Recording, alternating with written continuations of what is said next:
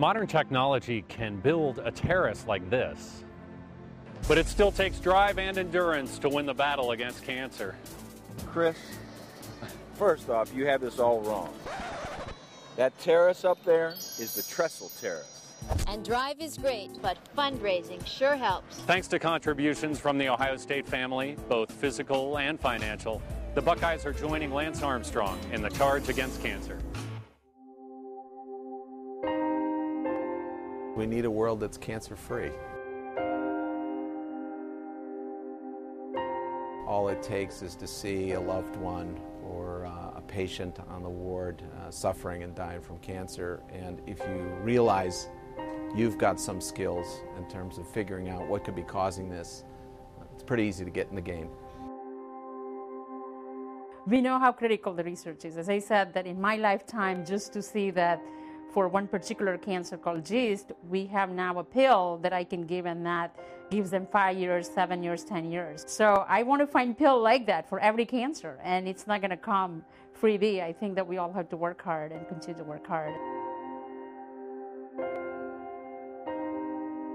If we're going to really get answers on how we prevent and cure cancer, we have to invest in it the same way we invest in other things.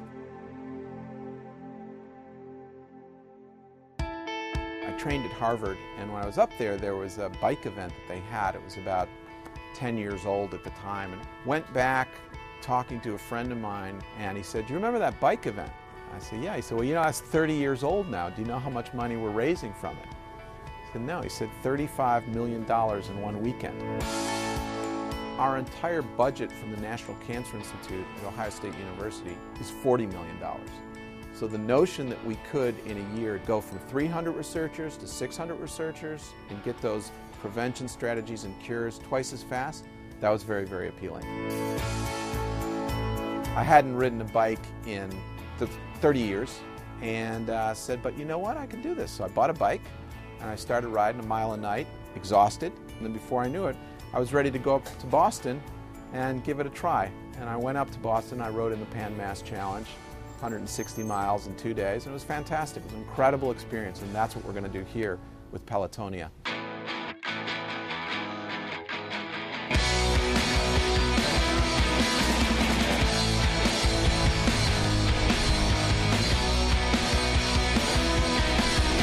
Pelotonia reflects a partnership between NetJets and The Ohio State University. NetJets made a $12.5 million gift, which will fund Pelotonia over at least a five-year period of time. Each and every weekend in uh, August or September, depending on when the Buckeyes play, we'll have uh, uh, this, this experience for the community, which manifests itself in a bike-a-thon of sorts.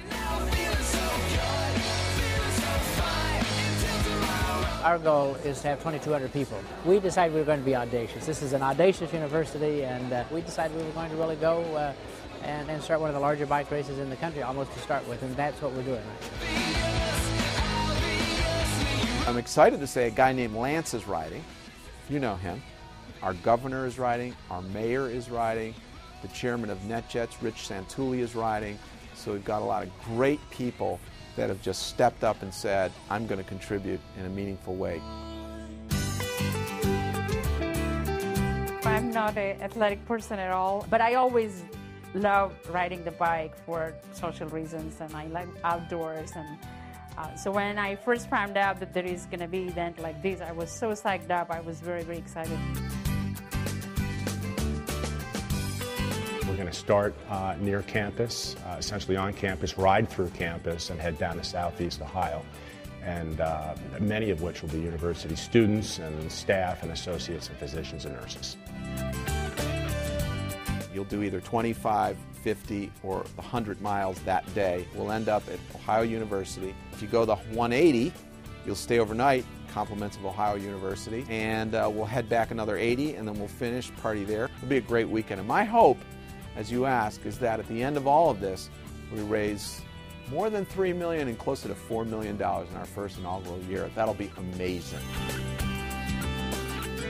I remember like 10 years ago, I rode like eight miles and I was so proud of myself. I was like, wow, I did eight miles. And it was like a big thing in my family. And So when I heard about this event, I thought, well, 50 is a huge challenge for me, so why not 180? And that's literally how I decided. I, I thought that it, it, would be good. I like challenges, and I thought that it's going to definitely put me to the big challenge.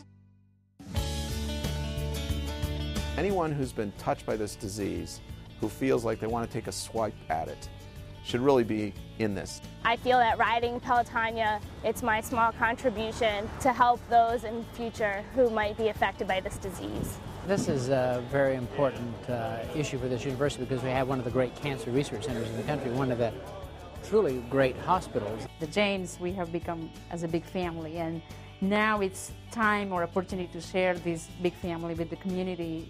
You know, one in two men will get cancer in their lifetime, one in three women will get cancer in their lifetime. This is a disease that's going to impact all of us. So we really need to do something about it, and this will. My, my first wife died in the, in the cancer hospital here, and so um, I, I, think we've all been touched in some way, and, uh, and now it's about touching others. It's about creating hope. I hope to be standing in front of this camera 30 years from now when I'm 83 telling you I'm a 30-year rider and we're raising, you know, upwards of 100 million a year.